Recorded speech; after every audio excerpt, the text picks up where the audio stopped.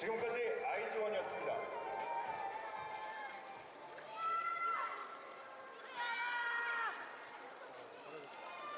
자, 이어서 다음 셀러 어, 소개해드리도록 하겠습니다.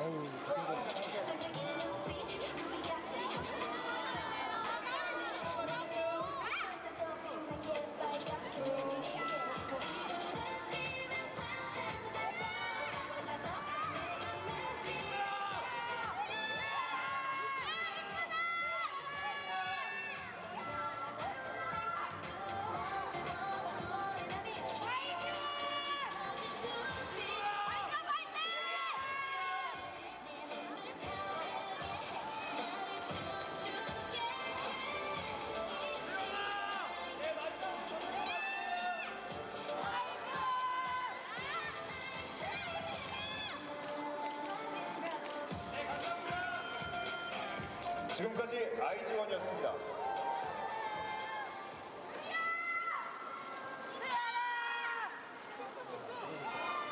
자, 이어서 다음 셀러 어, 소개해드리도록 하겠습니다.